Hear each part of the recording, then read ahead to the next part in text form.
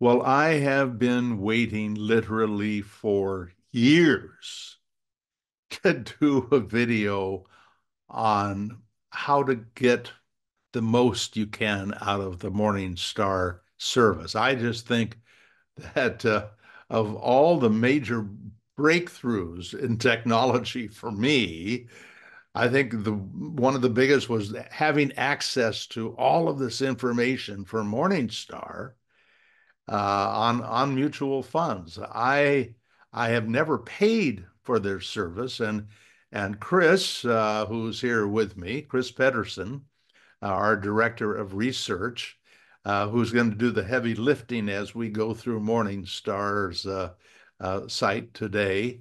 But he actually uses the the, the, the service you pay for, I think it's almost $250 a year to be able to dig deeper. And before we're done, Chris, I want to make sure we get just quickly an idea of how much deeper you have the ability uh, to dig on our behalf. But here is why this is so important to me in wanting you to have as much as you can possibly have to understand this process. It is easy to buy the market. We all can buy the market if we assume the market is the S&P 500. We know the total market index is virtually the same historically as the market, the S&P 500. Uh, it too can be bought for nothing or almost nothing in terms of fees. But we also know that when we look at the tables, I was looking this morning at the the table that shows uh, just the S&P 500 and small cap value. If you start with the S&P 500 and you add 10%, a little bit of small cap value over the 54 years on the table, it adds about three tenths of 1%. Now that is a big deal. I mean, that's a lot of money because of that one small move in your portfolio. But there are a whole bunch of other moves that that in essence decisions that you're going to make that are going to lead you to something either more or less productive. And when you get to understand all the different ways that Morningstar will look at mutual funds, you will start to see, ah, now it's easy to see the expenses here and to compare. That's one of the easy ones. But how much of particular assets funds carried? It turns out to be a big deal, according to the academics, claiming that 90 to 99% of the return that we get comes from the asset allocation of the fund. And Morningstar breaks this all down for us. So, uh, Chris, I really appreciate you joining me on this one. And I would like to start. I would I would like to look at that front page, the that I look at every morning when I get up. I when I opened this one up this morning, uh, I couldn't believe I was looking at an old friend there, and uh, uh, I think maybe he's recording that uh, interview from uh, uh, from Hawaii. But Harold Evensky, I haven't seen Harold in years, and it was um, great um, great to see his face. But over to my left of of Christine Benz there is the U.S. market barometer uh, that allows me with just a moment's just a when I see that I know so much about the factors of uh, uh, uh, of investing. When I say I know so much, it tells me how the market is responding. And some mornings I'll get up, I notice here that that in that style box, there are nine boxes there. And on the left-hand side, those are the value. On the right-hand side, those are the growth. At the top, of those are the large. At the bottom, those are the small. So we have the size and we have uh, the value orientation. There are days when the difference, for example, right here, you have the large cap growth up a fifth of 1%, 20 basis points.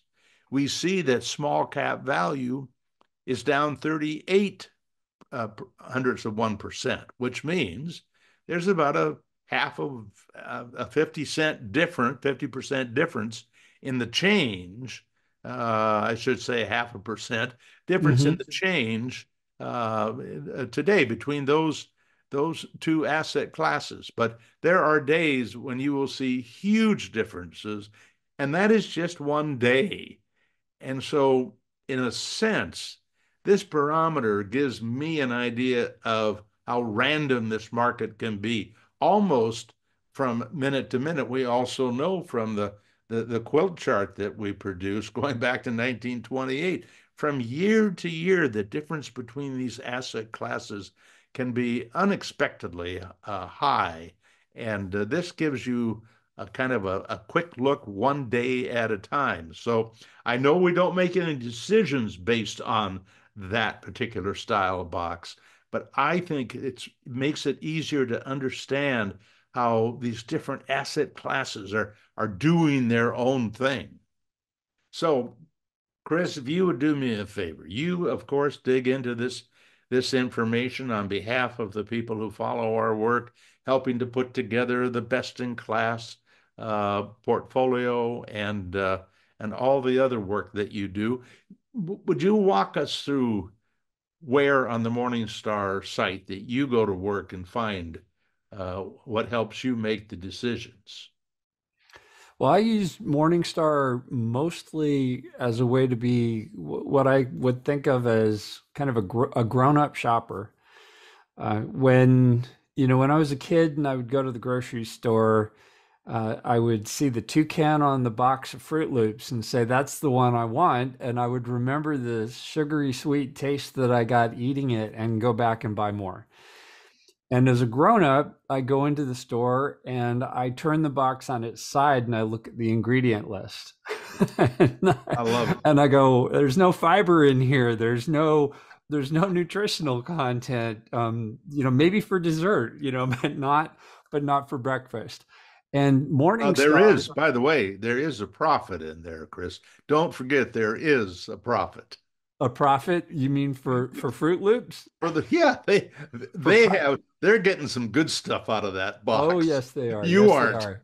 But but they also they also know that the profit out of Froot Loops is coming out of selling to parents of small children and the profit out of uh, All-Bran is coming out of selling to old people. Yeah. Uh, so, so they know they have these different target markets. And as a grown-up, when I buy a stock or a um, more likely a mutual fund or an ETF, I want to know what's inside. I don't want to just know that it says it's a small cap value fund or that it says it's a an S&P 500 or to- total market fund and has you know pretty packaging and messaging and a nice website, right? That would be buying like I did when I was a little kid and I liked the toucan on the box. I want to know what's inside.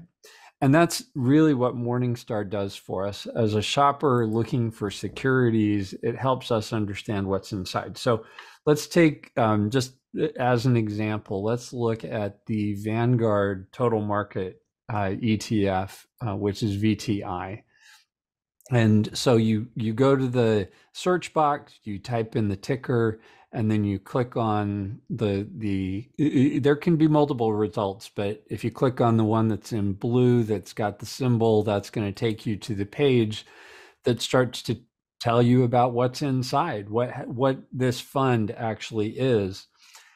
And at the top they want you to focus on these three stars and the the gold rating that they've given it.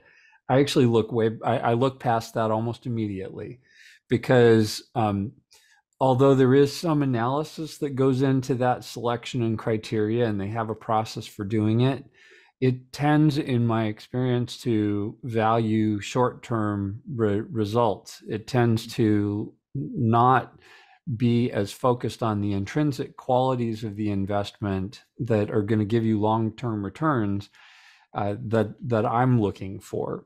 So instead, I, I, I skip past that and I go down to um, the numbers that are on this page, and then the information that's on a few other of these tabs here. And let's let's start with the description we get out of Vanguard Total Stock Market. We come down here. One of the most important things is expense ratio.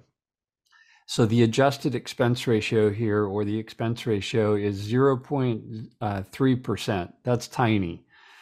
So that's good. I like that. That means that um, I'm paying less than uh, 0.03 pennies per dollar in uh, invested, right? Is that right? Yep. 1% would be one penny per dollar. So 0.03 yep. pennies per dollar invested. That's I'm getting a lot of work done for me. This this fund has a lot of stocks in it, and I'm not having to pay very much money. The the next thing I look at is um, a set of things. It's the the combination of volume, total assets under management, and bid ask spread. Those those things tell me is this fund large? Have a lot of people invested in it? Has it been around for a while? Uh, because when you're especially an ETF, not so much a mutual fund, but an ETF, if those numbers, uh, if the the assets under management are big and the volume is large, that means that this bid ask spread is going to be small. So 0.01%, again, very, very small. And what that means is that I don't have to be super careful when I'm trading it. I can put in a market order for a purchase or a sale and I'm going to get a price that is very fair for that point in time in the market. Where if this bid ask spread was high, let's say it was 1% or 2%, that means that when I place an order, I probably want to place a limit order and I may actually be t- paying a tax with each purchase and sale um, to cover that bid ask spread because I'm not as smart and savvy as the best people in the market, and and they're going to do a little better job at, at, at getting that. So that's the second thing I look at. Then I look at, at yield, um, and uh, I it it basically is telling me how much of the return am I going to be forced to pay tax on as it as it goes. Uh, because the yield is going to come to me probably as qualified dividends if I've held the stock for a while and then in a taxable account i'm going to have to pay tax on it if it's in a tax deferred account i can just set the dividends to reinvest and and then the yield doesn't matter as much. But if the yield is high say it's 4% um, which it might be in say a small cap value emerging markets fund or something like that then i'm probably going to want to put it in a tax deferred account and not hold it in a taxable account. Um, beyond that, I, I tend to actually move off of this page and go somewhere else. But before we do that, Paul, is there anything you want to comment on the, the starting page, like what you do with it? Well, for people who are really interested in a specific uh, issue, uh, just to note that they show you how it opened and they tell you then what it's selling for right the, on the last trade. So it opened at $283.78 and now it's $283.73. So you can you you can see what has happened if you if you care uh, so far uh, today. But uh, I, that's not something that I particularly look at. But there's a lot that I don't look at because it doesn't just like you don't look at the star rating. Uh, I'm not really other than that comment about the style box just as a as a general item. I don't try to track these things carefully every day, um, but but but it's for people who like it. It's there. Yeah, and I, you know, I think that people who are selling or purchasing uh, are probably tempted to spend more time on this yeah. chart on the left hand side. Is it going up? Is it going down? Yep. And yep, you're right. Based on my own experience, that's kind of a waste of time. Yeah. Um, but it's human nature. You'd rather sell when it's up than when it's down. You don't want to be a chump. You don't want to be the guy who sold it at the low point in the day. Right. The truth is you have zero control over it. And and so as much as I am a human just like everybody else and I sometimes look at it, I don't think it's very helpful. Right. So there are a bunch of other pages here that we're going to skip. There's a chart page, a fund analysis page. Um, sometimes the fund analysis page is interesting because it'll tell you a little bit about how the fund is managed and the methodology. And if you're not going to read the prospectus for the fund, you probably should read the fund analysis page just to see how it's run and what they do. Um, I, but again, I don't tend to focus on that. I don't tend to focus on the recent performance or past performance uh, or the sustainability or the risk. I come over to portfolio. That's the second place I go. And the reason I do is that, again, I'm really interested in being an adult shopper here. I want to know what's inside the box. And the portfolio page is, in my opinion, on Morningstar, the second most important one because it tells you, it starts to tell you what's inside. And it tells you that very in, in a variety of ways.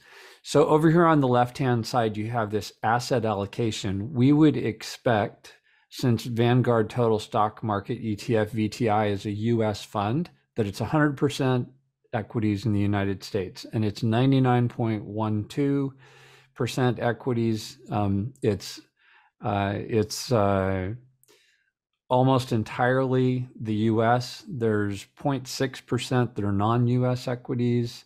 Um, there's 0.28 in cash. It's not unusual to have a little bit of cash, and that is a small amount of cash. Um, but it is 99% what it says it is. It's 99% U.S. equities. So this left-hand side is a first pass at you know is it is it delivering what it says it is. Can I just interrupt for one second? Yeah, yeah, of course. That category line to me is is a is a great lesson because uh, what do we get out of an index fund? We get what we paid for. But you'll notice that the that the average fund in the same category, large blend, is 96% in US. Now, that doesn't make the people evil, but what that does tell me is they are not committing all of their money to what they said they were going to commit it to. Uh, also, notice that even the VTI has a little bit of cash sitting around. Yep. You want as little cash as possible sitting around because it's not working. But the average fund in that category has about 1.6% in cash. So th- that actually it doesn't move the needle much. But if you sit around with with one and a half to two percent in cash, and and you should have been getting ten percent a year on that, it does add up over time. So uh, uh, you may not see it uh, or notice it if you're buying Froot Loops. There's a lot of other stuff that's not in there that uh, that may be uh, helping or hurting, but a lot of people don't don't notice that funds may be sitting on a bunch of cash. Anyway, I'm yeah, sorry and and that cash position it, of 0.28 percent for Vanguard, I think speaks to the their investor owned characteristics. Carrying cash may be a way for a company to make some more money off you, right? There's there's there there's a lot of there's a lot of trickery that can go on behind the scenes on you know securities lending, all kinds of stuff. Uh, that that can reduce what you take home. And one of the great things about Vanguard is since they are investor owned, there's no conflict of interest. And I think that low cash position is um, partly a reflection of that. So you, the, you the second. That's interesting. Uh, that's maybe a topic for another day about uh, what they can and can't uh, do with cash and and securities lending. But let's do that another day. yeah, I think yeah, it's topic. Yeah, I think we should come back to it on another day. And specifically, it might be interesting to look at in the context of um, zero cost funds, because funds that have zero cost in their expense ratio still have to make money. so, how do they do it? And securities lending is one of the tools they have yeah. behind the scenes. Where with Vanguard, if Vanguard does securities lending, there is no shareholder to distribute the money they make off of that to. Their securities lending has to go back to the investor. Yep. So again, another another advantage for Vanguard.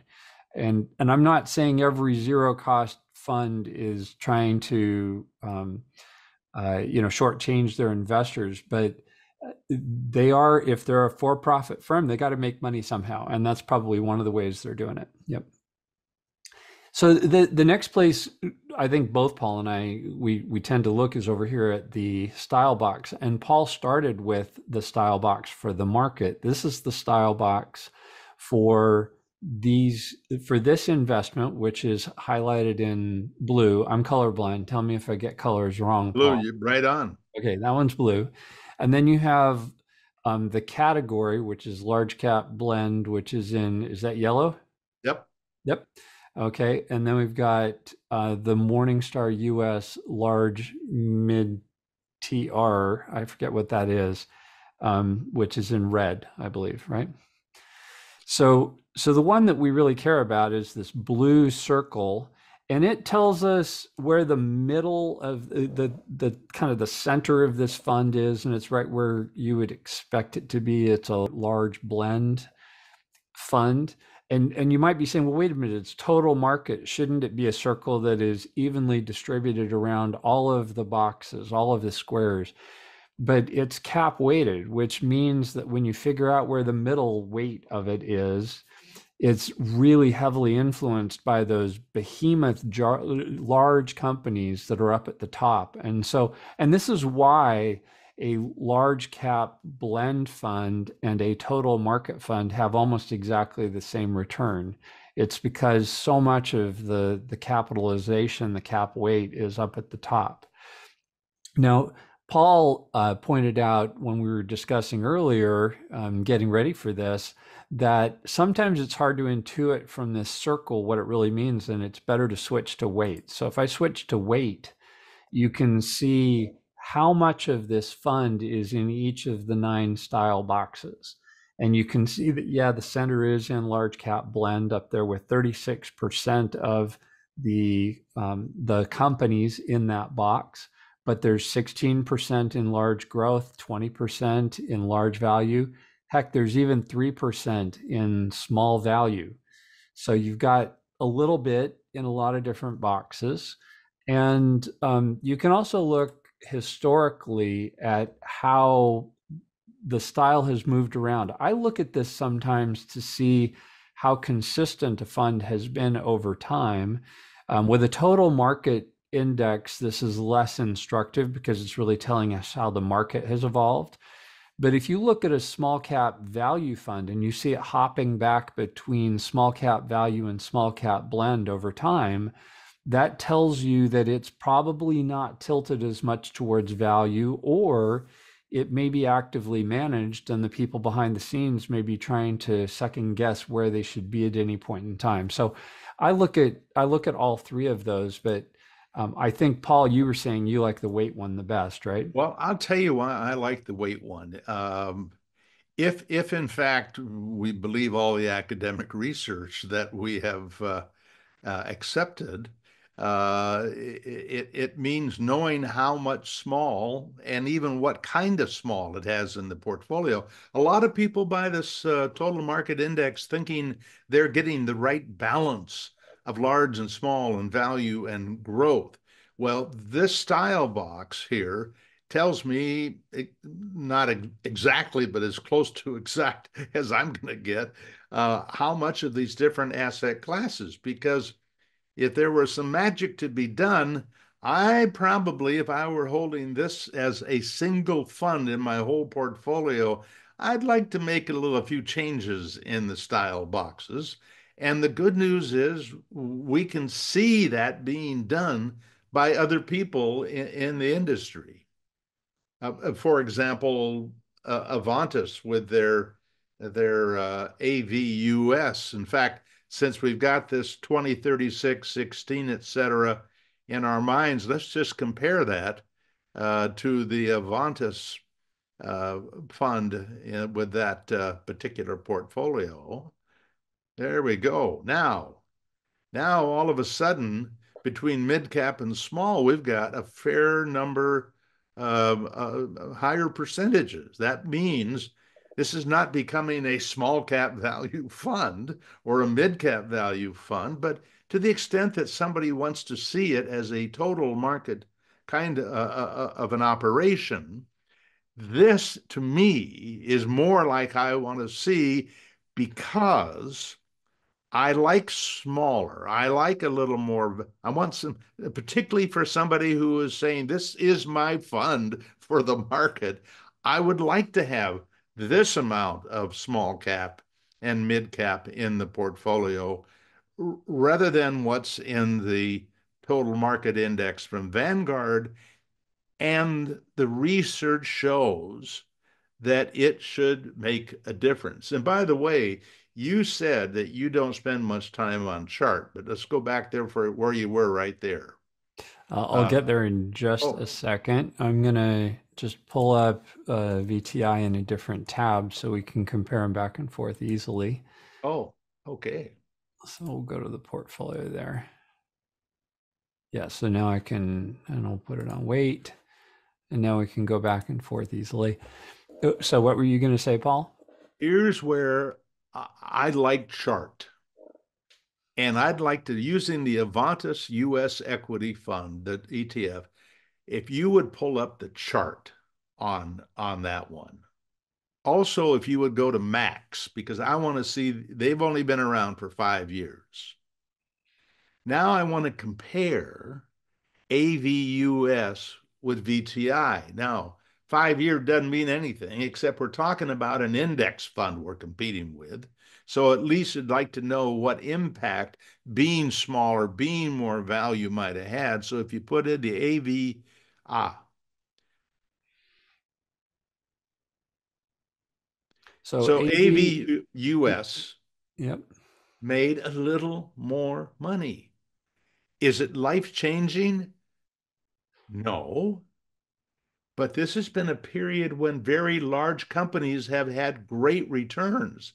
If we go through a period where where smaller companies have great returns, AVUS is likely to far, when I say far, if if we could get an extra half of 1% over a lifetime using AVUS rather than than VTI, I think it's an interesting thing to do we had a meeting this morning where we talked about being careful. We are not your advisor. We are not recommending.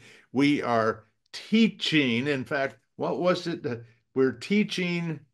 Uh, we teach, we inform, we teach, we inform, and then you decide. That's it. And do we push a little bit? Well, I'm sure somebody would say I was just pushing on AVUS. But yes, we do, I suspect. But understanding it's not about the it's not it's not about any personality. It's about what is in that portfolio. Sorry go oh no Back. that's fine.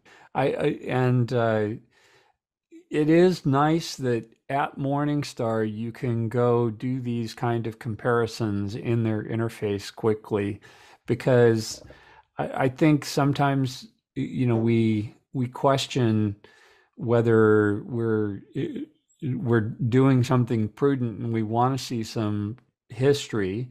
Ideally, I'd really like to see longer history, but we're fortunate here. We're now getting to where AVUS has been around uh, almost five years, right? So uh, yeah, over five years. Yeah. Over five years. Yeah, we've yes, got over five, five, years. Yeah, over five, just barely. Yeah. But so here's here's the other beauty is we have access to DVSVX or DFSVX. That's correct. Correct. That is a that's a fund that goes back to 1993. And I would love uh, um, to, to, to pull that up and go back to 1993.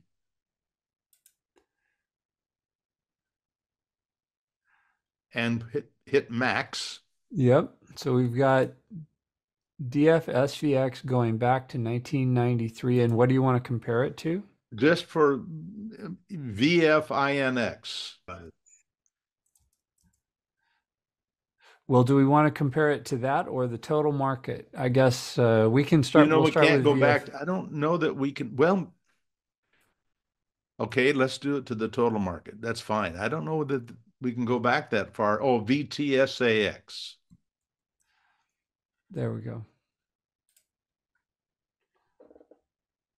So, not surprisingly, um, DFSVX outperformed, right? Yep. But it it did so with more volatility, and that's what you would expect. Yeah, you can see the Yes. volatility. It's it's much more zigzaggy. But look what you can do. You can pretend you invested in that. Uh, I know for our granddaughter, who was just about two years old, we put half the money in in the, the AVUS and the other half in the AVUV. So it's half S&P, uh, half in the small cap value. But you can notice here that red line basically uh, they they the um, fund itself, um, let me hang on. Oh, VISAX is is the red, obviously, but it was outperforming for a while. Uh, and then if you just go over and check in about 200, 2007 over here, Chris, if you pull that over, it'll tell you what it's worth as of 2007. At that point, uh, if somebody had purchased this in 93 and put in $10,000, it would be worth 85,462. If you were in VTSAX, it was worth 42,883. You think you have just found financial nirvana. And if you just hold on to this, you are just gonna you're gonna make a fortune. But look what happened.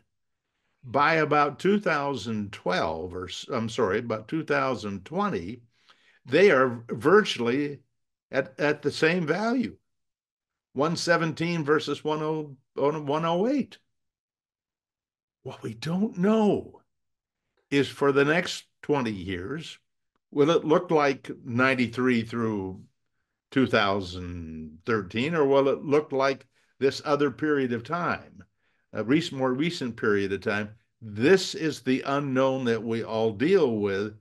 It is nice that DF SVX, the small cap value, did better, but it's not nearly as good as we thought it was going to be in 2007. Because we thought we were going to be able to double VTSAX because we had just done that.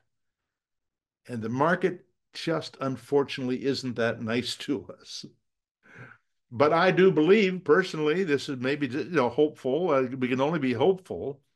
It's a faith-based uh, industry. I am hopeful that by the time I die, I'm going to have seen another good run in small cap value.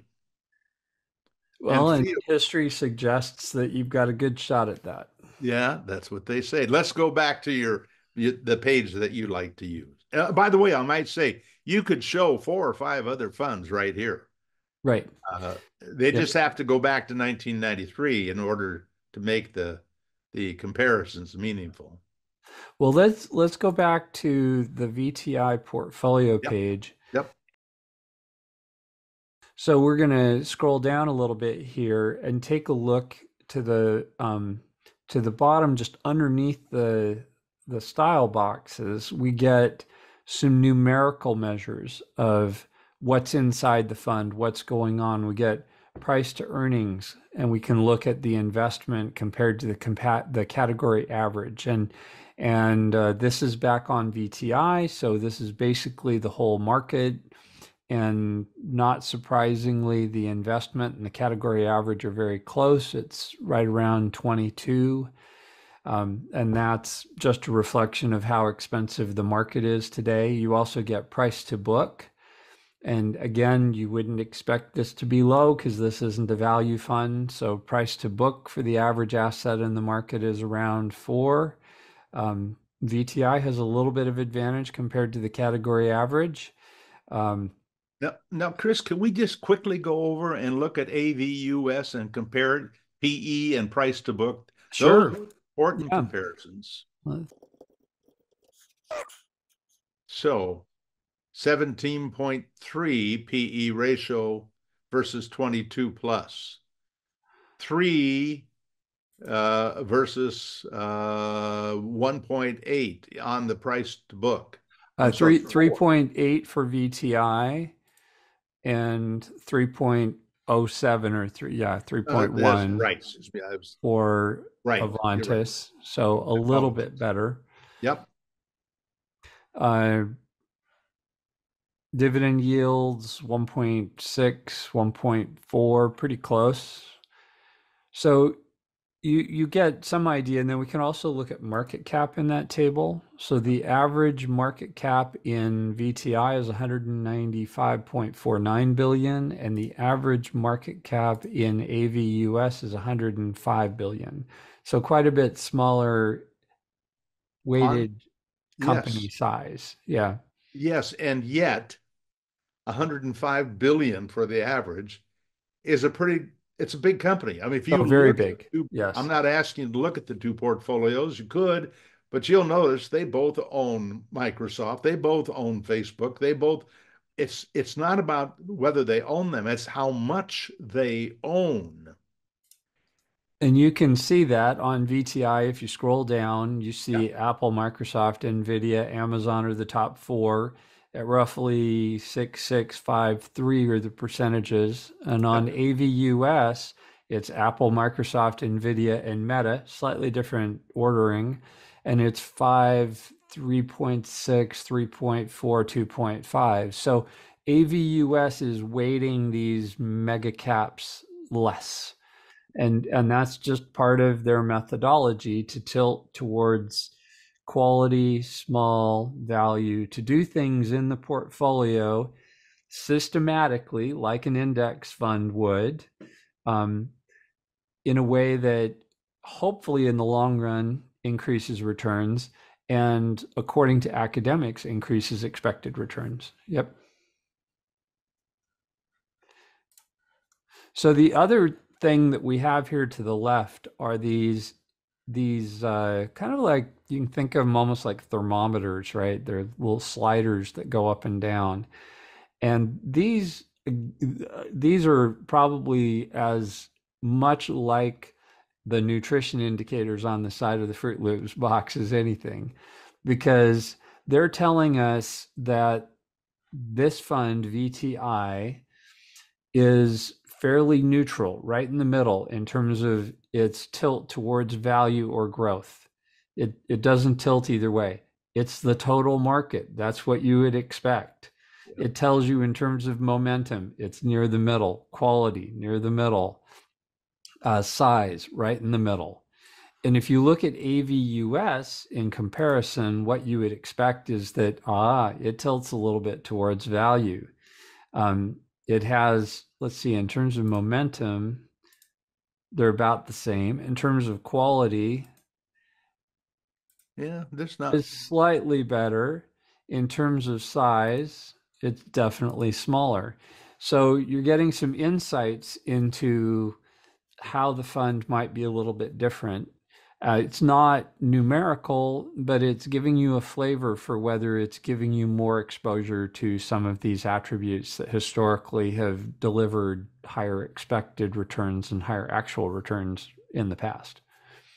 So when you see this, um, putting your academic hat on, uh, would you, if you had a choice for my granddaughter, and you wanted some total market exposure as a part of the portfolio, uh, would you choose AVUS over VTSAX or VTI? I would, and and that's why it's my best in class recommendation. And the reason is that if you take the historical expected return or the historical returns for these various attributes, and you multiply them times the difference in exposure that you get, the amount of increased expected return is greater than the amount of additional expense ratio that you're going to get. So in in my uh, in my analysis of the side of the box, if you will, I think there's enough more nutrition to justify the added cost.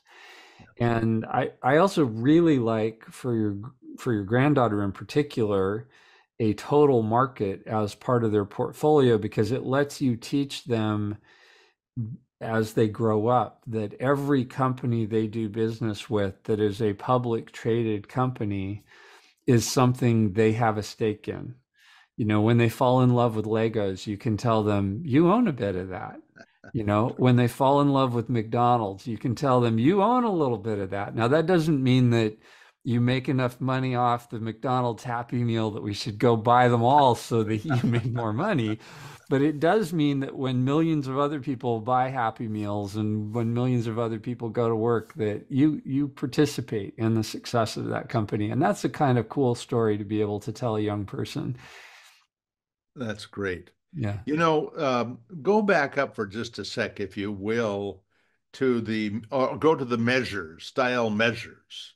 The over here on the right, yes. Uh, what? Yeah, there we go.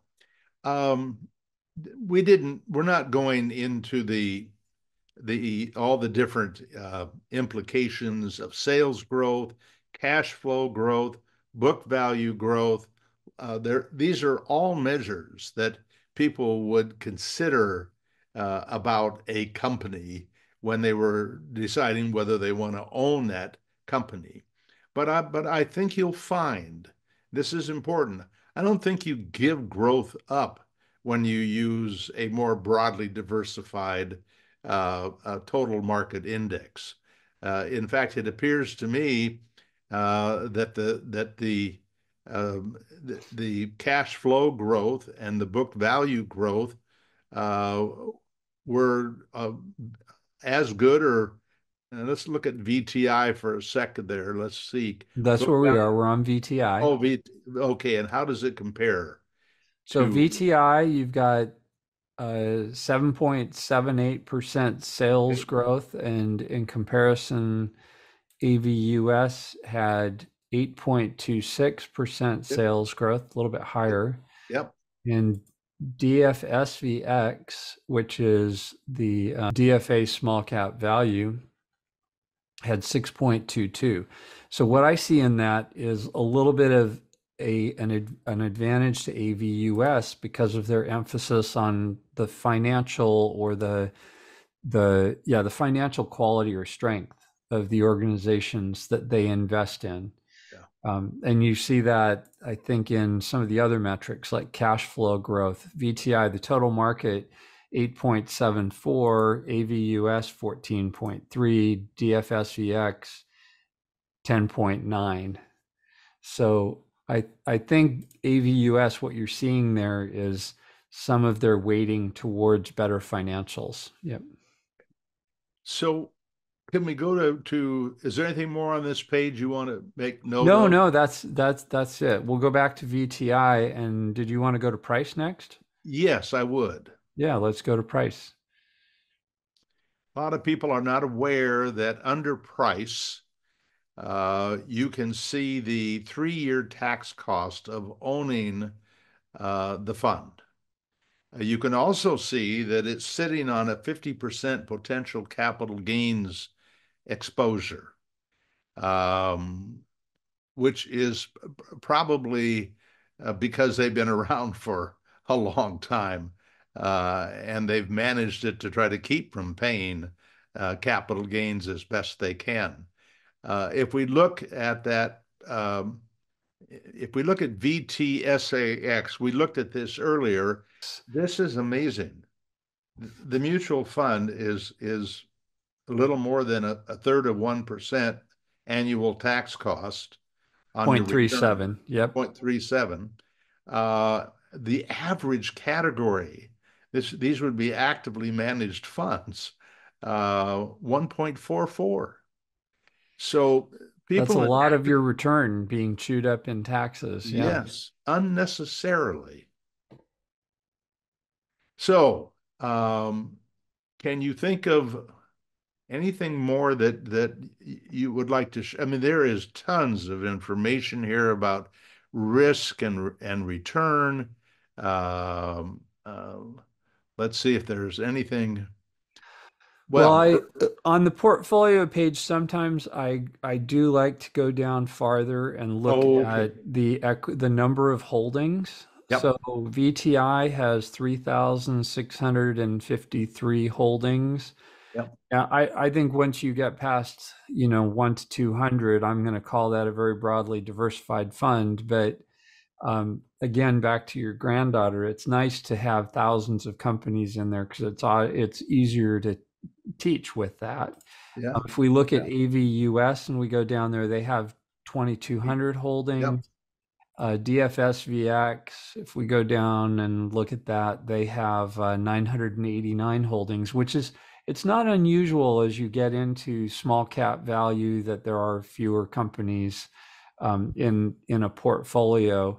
Uh, just just for grins, I'm going to take a look at uh, AVUV uh, because that's. I think it's about nine hundred as I recall, but let's see. I would expect it to be similar to DFSVX, um, to the DFA fund. So if we scroll down there, yeah, 736. Uh, So it's a little bit smaller. I still think it's it's great. You can also look at the turnover percentage for a small cap value fund. I think 7% is quite good. That's AVUV. If you look at DFSVX, um, their turnover percentage Eight percent. eight percent. So both of them, I, I would say, very good. And uh, let's take a look back at VTI. Their turnover percentage Very low. Very 2%. low, two percent, because it's total market. So basically, you just have companies that are going out of business or being created and getting large enough to be included. So there's a lot of different ways you can cut this and a lot more detail. And if you want to dive in and spend time on it, I, there's there's plenty here. Again, I'm going to go back to my overall theme. I think that adult buyers look at what they buy before they buy. And I think Morningstar is, if you only had one Swiss Army knife tool to do that, Morningstar would be my first choice go to. It's a great place to learn a lot and become an informed investor before you purchase a fund or an ETF. And and to and to be a bit harsh about the industry, I think everybody in this industry uh, understands what Morningstar offers.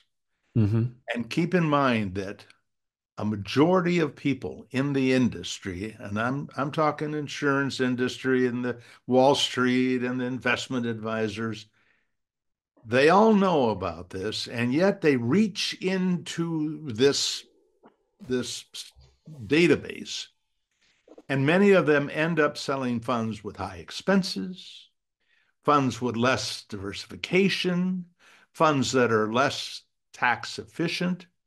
And the thing that you need to understand is they know exactly, unless they're an absolute newbie, just hasn't had time to, to, to learn this stuff. This, this is not difficult to understand. And I think that, that Morningstar, uh, what more do you get, Chris, when you pay that $249 a year? What more do you get from the, from the, uh, the, the getting past the paywall? There are some analyses of funds that I get, which are helpful. Uh, n- not in that they drive my choice, but sometimes it's nice to uh, to read what what their analysts thought of particular issues. Sometimes there are changes in the management, the stewardship of a fund, the indexes um, that comprise a fund. And it's interesting to be able to read Morningstar's professional analysis of what they think of that. Uh, Probably the most important thing, though, is the x ray, the ability to uh, create a portfolio and then have it characterize that portfolio. It's almost like it takes a portfolio, which is an allocation to a lot of different individual individual, individual funds, and then tells you the attributes we just looked at for a fund. It it analyzes it almost like a fund and it tells you where it sits on the style boxes, what the overall price to book, price to earnings, um, expense ratio, uh, size of company are. So it And, and, and that's very just- helpful, and that let- does play into what I publish on the best in class ETFs a lot of the was time. just gonna Yeah. bring that up, that that will all be done when you have your, your, your new recommend, your new, not recommendations, suggestions for people. Well, they are consider. they are rec- they they are the funds that we choose that we recommend, but they are not um, personal advice, right? So So, so here I am dedicated to this amazing wife who I've said, I promise I'll be done by 11:30. I noticed by my watch that I have less than 30 seconds because I've got to keep this promise. This one's important. Chris, you did a great job. Uh, I hope people will hit us with questions. We would love questions. By the way, in the note field, because I know you put together the notes for these, would you do me a favor and put the link in for the, you did a presentation on using uh, the other service that you, I cannot, portfolio visualizer. yes. Let's make sure they get that so they get both, okay? we'll do. Thanks, Chris. Take care. Thank you too. Bye And bye. then all of you who are kind enough to join us, thank you as well. We, uh, we, we love having you be there. Bye now.